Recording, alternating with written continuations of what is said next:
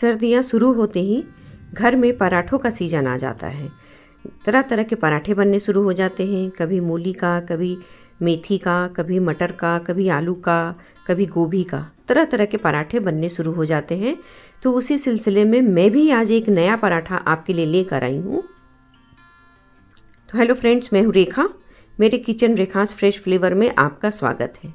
तो चलिए आज की रेसिपी हम बनाना शुरू करते हैं। तो पराठा के साथ खाने के लिए सबसे पहले हम एक चटनी तैयार कर लेंगे, जिसके लिए मैंने चार टमाटर, एक लहसुन, दो हरी मिर्च और एक प्याज लिया है। इन सभी को हमें सबसे पहले गैस की आँच पे सबको रोस्ट करना है। चारों तरफ़ से सारे चीज़ों को हम रोस्ट करेंगे और ये चटनी बहुत ही टेस्टी लगता है। जब हम इसको ऐसे आग में भून कर बनाते हैं ना तो बहुत ही ज़्यादा टेस्टी लगता है। और ये जैसे जैसे भूनता जाएगा हम वैसे वैसे पलटते जाएँगे और इसको अलग करते जाएँगे। और इन सबको भूनते समय हम आँच को बहुत ज़्यादा तेज़ नहीं रखेंगे, नहीं तो जल जाएगा और अंदर से कच्चा ही रह जाएगा। इसलिए इसको मीडियम आँच पे हमें सबको भूनना है। और जैसे जैसे भूनता जाएगा, वैसे वैसे हम निकालते जाएँगे। ये देखिए, लहसुन हमारा भुन गया है तो हमने इसको निकाल लिया है। हरी मिर्ची भी भुन गई है तो हरी मिर्ची को भी हम निकाल देते हैं। अब टमाटर और प्याज को दोनों तरफ़ से, यानी चारों तरफ़ से उलटते पलटते हुए हम पका लेंगे और निकाल लेंगे। ये देखिए टमाटर पक कर रेडी हो गया है। तो अब इस समय हम इसको निकाल लेंगे। प्याज भी पक गया है। अब सारे पक गए हैं, अब हम निकाल लेंगे और इसको ठंडा होने देंगे। जब ये ठंडा हो जाएगा तो ऊपर से हम इसके जो काले काले छिलके हो गए हैं, उन सारे छिलकों को हमें निकाल कर अलग कर देना है। दोस्तों, इस तरह से चटनी आप बना कर देखिएगा, आपको बहुत ही पसंद आएगा। ये चटनी आप चावल के साथ, रोटी के साथ, पराठा के साथ, किसी के साथ भी खा सकते हैं। ये बहुत ही टेस्टी लगता है। तो ये देखिए, हमने सारा छिलका को यहाँ पर निकाल दिया है। अब एक चॉपर ले लेंगे। अब सारी चीज़ों को उसमें डाल देंगे और डालने के बाद इसमें थोड़ा इसको चलाकर हम ग्राइंड कर लेंगे। और अगर आपके पास चॉपर नहीं है तो आप इसको हाथों की सहायता से भी मैश कर सकते हैं, या फिर चाकू से भी बारीक बारीक काट सकते हैं, या फिर मिक्सी ग्राइंडर में डालकर इसको हल्का सा क्रश भी आप कर सकते हैं। मैं यहाँ पर चॉपर में डालकर रफली चॉप कर रही हूँ। इसको रफली चॉप करेंगे अभी, और ये देखिए रफली चॉप हो गया है। तो अब इसको और भी टेस्टी बनाने के लिए मैं यहाँ पर डाल दे रही हूँ थोड़ा सा हरा धनिया। इसके साथ ही डाल देंगे आधा नींबू का रस वन फोर्थ टीस्पून नमक और वन फोर्थ टीस्पून काला नमक भी डाल देंगे।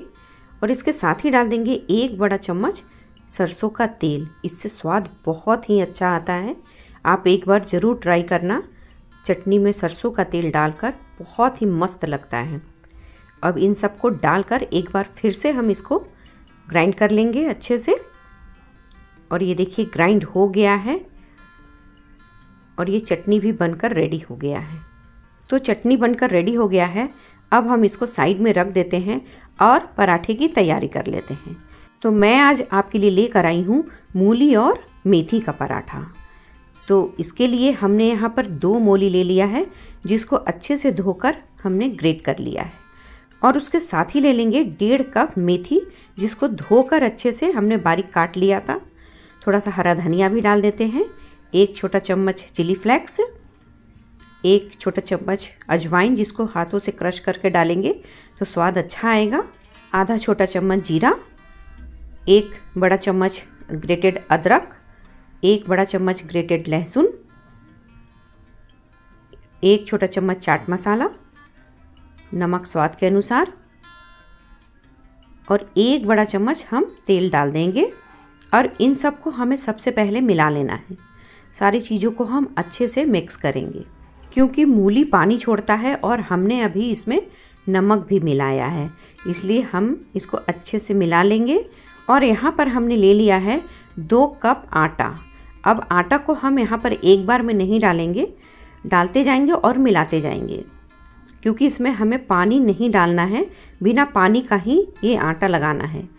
अगर हम इसमें पानी डालेंगे तो मूली का पानी तो छोड़ता ही है, उसके साथ साथ ये एक्स्ट्रा पानी हो जाएगा और आटा इसमें ज़्यादा लग जाएगा।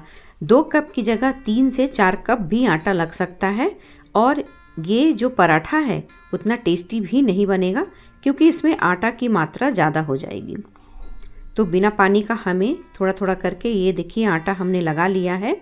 अब अभी भी थोड़ा सा गीला लग रहा था तो हमने एक चम्मच आटा और मिला लिया है। वैसे अगर आपको ज़रूरत पड़े, तभी आप मिलाएँ और अगर ज़रूरत ना हो तो आटा ना मिलाएँ। ये देखिए, ये आटा बनकर रेडी हो गया है हमारा। आटा बिल्कुल तैयार है। तो चलिए अब इसके पराठे बनाते हैं। तो गोल गोल इसके एक पेड़े बना लेंगे। बहुत बड़ा नहीं और बहुत छोटा भी नहीं। अब इसको सूखे आटा में डस्ट करके हम इसके पराठे बेल लेंगे। दोस्तों, एक पराठा में हमें दो चीज़ का मज़ा मिलेगा। एक तो मूली का और दूसरा मेथी का। दोनों ही सर्दियों में खाने में बहुत ही टेस्टी लगता है। तो एक बार आप ज़रूर ट्राई कीजिए। अब ये गोल गोल नहीं हो पाता है क्योंकि इसमें मूली के लच्छे आ जाते हैं साइड साइड से। तो हम साइड से थोड़ा थोड़ा मिला लेंगे अपने हाथों से और इसको गरम तवे में सेक लेंगे।